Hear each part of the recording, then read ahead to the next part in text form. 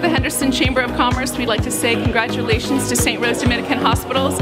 We'd like to thank Teresa Connolly, who is on our executive board, and Linda Gerstenberger, who is on our foundation board. Blossom Branch would like to extend Dignity Health and St. Rose Dominican Hospitals a big congratulations on their tower here. It's absolutely gorgeous, and we know that the efforts and the energy that went into in, behind the scenes will be well worth it. I'd like to say congratulations to St. Rose Dominican.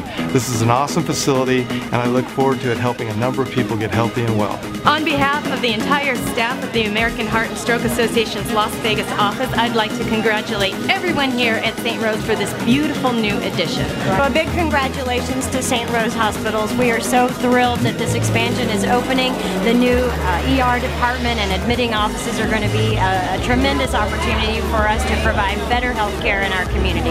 On behalf of Kitchell Contractors and Orcutt Winslow, as a design build partners, we want to wish St. Rose Siena congratulations on their new tower and celebrating opening up this emergency room at the end of the month.